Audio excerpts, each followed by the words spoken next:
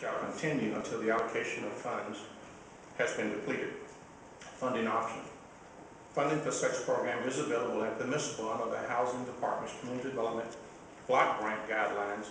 Fiscal year 2014 revenues estimated to be at $21 million. Of that, public service, 16% is permissible for public service activities, indicating 3.6 million is available for this program.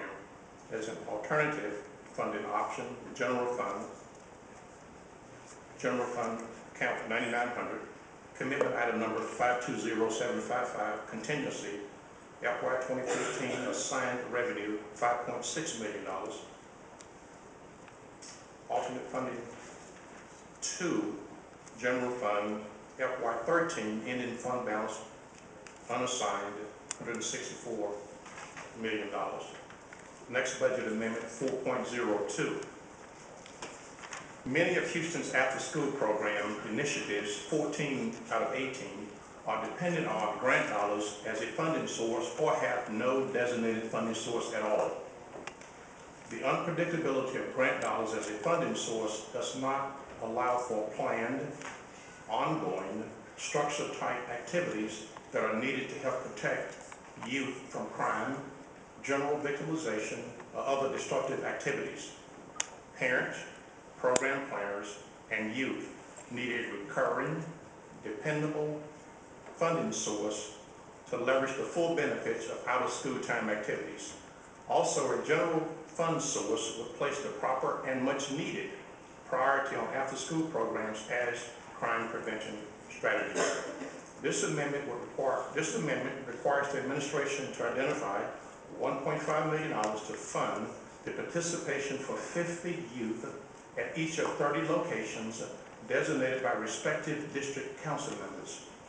Funding options, general fund, projected revenue, $2.1 billion. Alternative funding source, Houston Police Department Asset Forfeiture Account.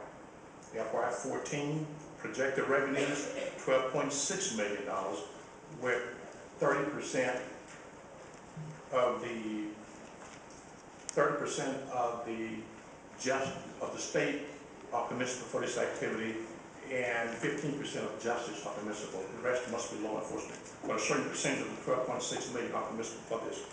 Alternative number two, the Housing Department Community Development Block Grant dollars. Amendment number 4.3.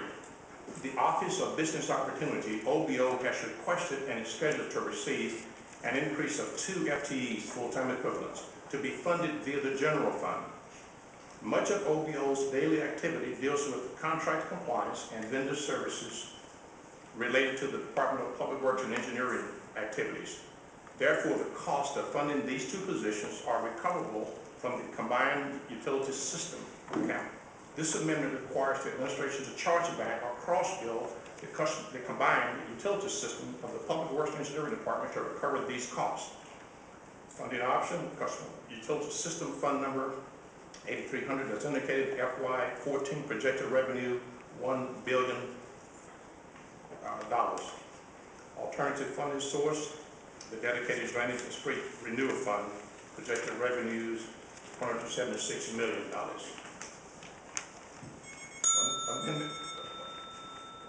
Motion to extend. Second.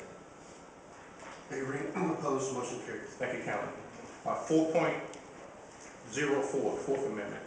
This amendment provides additional property tax relief for qualified older homeowners and assists them in keeping their homes. Currently, Harris County offers a $160,000 over 65 homestead exemption. However, the city of Houston offers a $70,862 exemption. This amendment would freeze or place a ceiling at this year's 2013 appraisals of homes appraised between $70,862 and $160,000 for those homeowners over 65 years of age effective January 1st, 2014. However, in the future, if the appraised value reaches $160,000, the exemption shall not apply to any value exceeding $160,000. Eligible homeowners' savings would range from $0 to approximately $569 annually. The next amendment, four point zero five. This amendment provides additional property tax relief for qualified older homeowners and assists them in keeping their homes. Currently, the Harris County, Harris County offers a hundred and sixty thousand dollar over sixty-five homestead exemption. However, the state of Houston offers a seventy thousand eight hundred and sixty-two dollars exemption. This amendment would raise the state of Houston exemption to hundred and sixty thousand dollars for those homeowners over sixty-five years of age effective January first, two thousand fourteen. The next amendment, four point zero six. This amendment provides additional property tax relief for older homeowners and assist them in keeping their homes. Currently, Harris County offers a hundred and sixty thousand dollar over sixty-five homestead exemption. However, the state of Houston offers a seventy thousand eight hundred and sixty-two dollar exemption. This amendment would raise the state of Houston exemption to eighty thousand dollars for those homeowners over sixty-five years of age effective January first, twenty fourteen.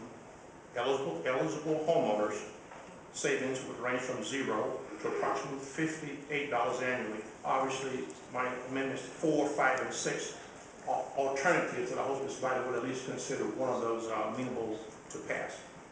Uh, Number seven, four point oh seven, the general fund FY twenty fourteen ending fund balance shall be maintained at the preferred seven point five percent level of total operating expenditures excluding debt service. Any accrued reserves exceeding the seven point five percent level shall be allocated to increase the city's rainy day fund above the assigned twenty million dollars or allocated to assist in funding summer job programs for Houston's youth. Number eight, four point oh eight, super neighborhood councils represent ge- geographically designated areas where residents, civic organizations, institutions, and businesses work together to identify, plan, and set priorities to address the needs and concerns of their community. They form organizational structures, draft bylaws, and they are officially recognized by the mayor and council members to accomplish objectives, their objectives, super neighborhood representatives need information and statistical data that is organized, easily accessible, and geographically specific.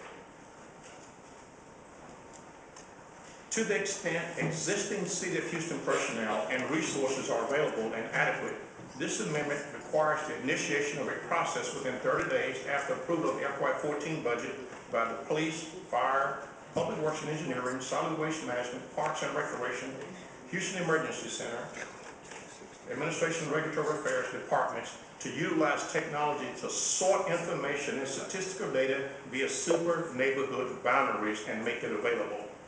This amendment only proffers the use of existing city personnel and resources, therefore no additional funding source needs to be identified. Those are my eight amendments. I thank you, my colleagues, and those you, thank you, Mayor.